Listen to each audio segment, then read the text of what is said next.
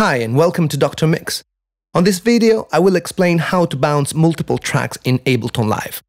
Oftentimes, you need to transfer an entire arrangement to a different system for various reasons, like sending your work to a professional mixing and mastering service, like Dr. Mix.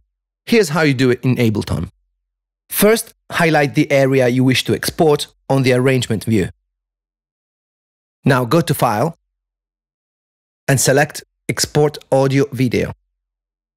Under Rendered Track, select All Tracks. Leave Normalize off and Render as Loop off.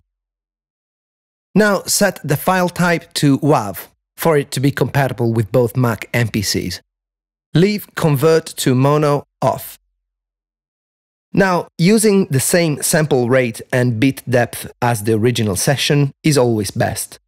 However, the standard is to set sample rate to 44.1 and bit depth to 24 bit.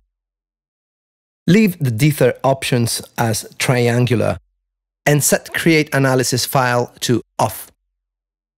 Then click OK and create a folder where to save the export files. Now name it and remember that adding the original BPM of the track is always a great idea. Now finally, hit create, hit save, and you're good to go.